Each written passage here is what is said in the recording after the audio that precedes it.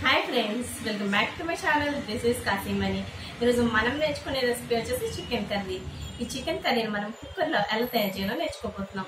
ఈ కర్రీ చాలా టేస్టీగా ఉంటుంది. మా వీడియో మీకు నచ్చితే లైక్ చేయండి షేర్ చేయండి. కొత్తగా ఎవరైనా చూస్తుంటే red colour subscribe button subscribe చేసుకోండి. దాని పక్కనే ఉన్న బెల్లైకాన్ని కూడా ప్రెస్ చేయండి. నేను ఏ వీడియో పెట్టినా నోటిఫికేషన్ కూడా మీకు వచ్చేస్తుంది. మా వీడియో మీకు నచ్చితే కమెంట్ సెక్షన్లో కమెంట్ చేయండి. ఇంకేమాత్రం ఆలోచించకుండా ప్రస్తుతం వెళ్ళిపోదాం పదండి. ఇంత రుచికరమైన చికెన్ కర్రీని మనం కుక్కర్లో తయారు చేసుకోబోతున్నాం. ఈ చికెన్ కర్రీ తయారు చేయడానికి ముందుగా ఐదు వందల గ్రాములు చికెన్ తీసుకొని ఒక బౌల్లో వేసుకోవాలి. చికెన్లో లెగ్ పీసెస్ ఉంటే ఇలా ఘాట్లు పెట్టుకోవాలి. ఇలా చేయడం వల్ల చికెన్లోకి మసాలా అంతా వెళ్ళి చక్కగా ఉడుకుతుంది. రుచికి సరిపడినంత ఉప్పు పావు స్పూన్ పసుపు మూడు స్పూన్లు కారం ఒక స్పూన్ ధనియాల పొడి అల్లం వెల్లుల్లి పేస్ట్ ఒక స్పూన్ నిమ్మకాయలు సగం చెక్క తీసుకుని రసం పిండుకుని వేసుకోవాలి. రెండు స్పూన్లు ఆయిల్ వేసుకోవాలి. ఈ మసాలాలన్నీ చికెన్కి బాగా పట్టేట్టుగా మిక్స్ చేసుకోవాలి. ఇలా మిక్స్ చేసుకున్న తర్వాత అరగంట సేపు ఫ్రిడ్జ్లో పెట్టుకోవాలి. ఇలా చికెన్ని అరగంట పాటు ఫ్రిడ్జ్లో పెట్టడం వల్ల కర్రీ చాలా టేస్టీగా ఉంటుంది తొందరగా కూడా ఉడుకుతుంది. స్టవ్ పైన కుక్కర్ పెట్టుకుని రెండు టేబుల్ స్పూన్ల ఆయిల్ వేసుకోవాలి. ఆయిల్ వేడైన తర్వాత నాలుగు ఉల్లిపాయలను చిన్న చిన్న ముక్కలుగా కట్ చేసుకొని వేసుకోవాలి. ఇందులో చిటికెడు పసుపు చిటికెడు ఉప్పు మూడు పచ్చిమిర్చి వేసుకొని ఉల్లిపాయలు గోల్డెన్ బ్రౌన్ కలర్ వచ్చేంత వరకు వేయించుకోవాలి.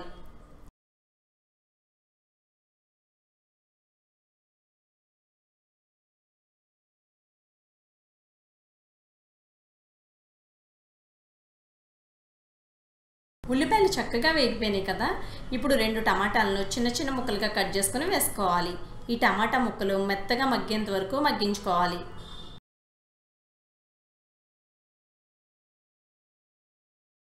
టమాటా ముక్కలు మెత్తగా మగ్గిపోయినాయి కదా. ఇప్పుడు ఇందులో చికెన్ని వేసేసుకోవాలి. మీడియం ఫ్లేమ్లో ఈ చికెన్ని కదుపుకుంటూ ఉడికించుకోవాలి. ఐదు నిమిషాల పాటు ఉడికించుకోవాలి.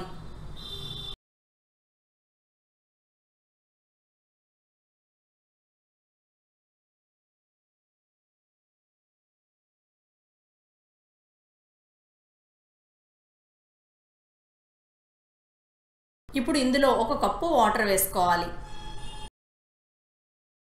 ఒకసారి మిక్స్ చేసుకోవాలి.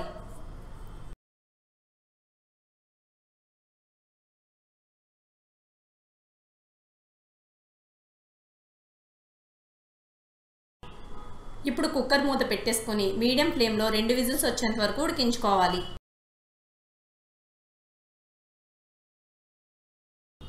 పది నిమిషాల తర్వాత కుక్కర్ మూత ఓపెన్ చేసి చూద్దాం.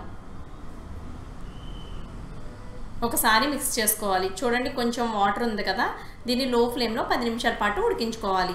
అంటే కర్రీ దగ్గర పడేంత వరకు ఉడికించుకోవాలి. ఇలా ఉడుకుతున్నప్పుడు ఒక స్పూన్ గరం మసాలా వేసుకోవాలి. ఒకసారి మిక్స్ చేసుకోవాలి.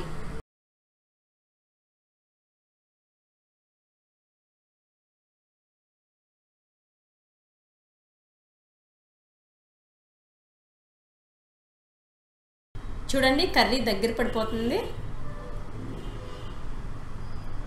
ఇప్పుడు సన్నగా తరిగిన కొత్తిమీర వేసుకొని మరో రెండు నిమిషాల పాటు ఉడికించుకోవాలి. చికెన్ కర్రీ రెడీ అయిపోయింది. ఇప్పుడు స్టవ్ ఆఫ్ చేసుకోవాలి. గ్రేవీ చూడండి ఎంత చక్కగా ఉందో. ఇంత రుచికరమైన చికెన్ కర్రీ మీకు నచ్చినట్లయితే ఒక లైక్ చేయండి. మీ ఫ్రెండ్స్ అండ్ రిలేటివ్స్కి షేర్ చేయండి. మా ఛానల్ని కొత్తగా చూస్తున్నట్లయితే సబ్స్క్రైబ్ చేసుకోండి.